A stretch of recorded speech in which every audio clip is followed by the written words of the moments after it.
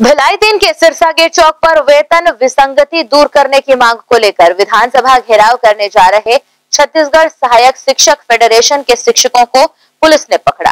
भिलाई तीन पुलिस ने फेडरेशन के प्रदेश सचिव सुखनंदन यादव को उनके चरोदा निवास से पकड़ लिया। इसी तरह जिला अध्यक्ष ब्रिज कुमार यादव एवं अन्य शिक्षकों को भिलाई तीन के सिरसा गेट चौक से पकड़ा।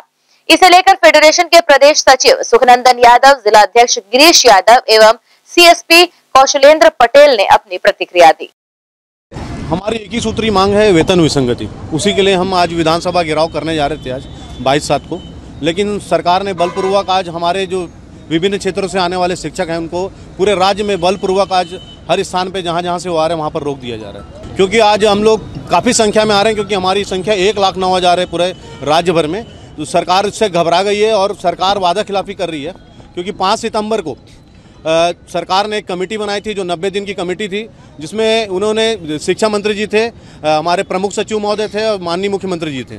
उन्होंने कहा था कि 90 दिन के अंदर आपकी वेतन विसंगति दूर कर दी जाएगी लेकिन पिछले जो सितंबर है सितंबर के बाद आज एक साल होने आ रहा है लेकिन अभी तक सरकार ने किसी प्रकार का संज्ञान नहीं लिया न कमेटी ने किसी प्रकार का रिपोर्ट दिया है। दुर्ग ज़िले में लगभग साढ़े तीन हज़ार शिक्षक है जिनका वेतन विसंगति के लिए आज आंदोलन है। अगर हमारी मांगे पूरी पूरी नहीं होती है तो हम आने वाले समय में अनिश्चितकालीन आंदोलन में भी जा सकते हैं हाँ विपक्ष के लोग आज स्थगन प्रस्ताव आज लाने वाले हैं, आज मंत्र विधानसभा में तो उनकी सूचना भी हमको प्राप्त हुई है। छत्तीसगढ़ सहायक शिक्षक फेडरेशन के तत्वाधान में आज एक दिवसीय विधानसभा घेराव रायपुर बूढ़ा तालाब से विधानसभा के लिए कूच करने वाले थे, लेकिन विभिन्न क्षेत्रों से आने वाले सहायक शिक्षकों को शासन प्रशासन द्वारा रास्ते में ही रोक दिया गया, जबकि छत्तीसगढ़ सहायक शिक्षक फेडरेशन द्वारा लोकतांत्रिक तरीके से आंदोलन करने जा रहे थे और सरकार द्वारा इस तरह से शासन प्रशासन द्वारा रास्ते में रोकना, छत्तीसगढ़ सहायक शिक्षक फेडरेशन इसका विरोध करता है। सरकार के खिलाफ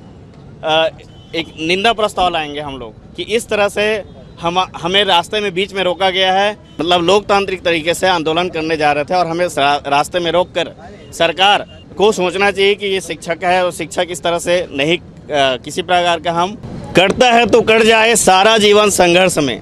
कदम कदम पर समझौता बस और नहीं। सरकार को सोचनी चाहिए, हमारी मांगों को कमेटी तो बना दी गई, लेकिन कमेटी का रिपोर्ट अभी तक, कमेटी में तीन महीने के अंदर आप लोगों के मांगों को, पिछले पाँच सितंबर 2021 को कमेटी बनाई थी। लेकिन, पाँच सितंबर से लेके आज आठ महीना लगभग हो गया, जुलाई। अभी तक कमेटी का किसी प्रकार का रिपोर्ट नहीं आया है। न तो आ, हमारे पक्ष में आ, किसी प्रकार का कमेटी द्वारा कोई प्रस्ताव प्रस्तुत किया गया है। तो इसलिए हम लोग आज एक दिवसीय विधानसभा घेराव के लिए कूच कर रहे थे और हमें शासन प्रशासन द्वारा रास्ते में रोक दिया गया। आ, हमारे द्वारा एक रूटीन चेकिंग पॉइंट लगाया गया था। आ, पूरे ज़िले भर में लगभग सभी जगह जैसे सिरसा गेट में है कुम्हारी टोल प्लाजा में जिसमें हमें ज्ञात हुआ था कि शिक्षा कर्मियों के द्वारा राज्य स्तरीय एक विरोध प्रदर्शन करने के लिए विधानसभा घेराव के लिए जा रहे थे। जिनको, जिन्हें हमें पता चलने पे हमारे द्वारा इन्हें रोका गया और समझाई देके यहाँ पे छोड़ा जा रहा है।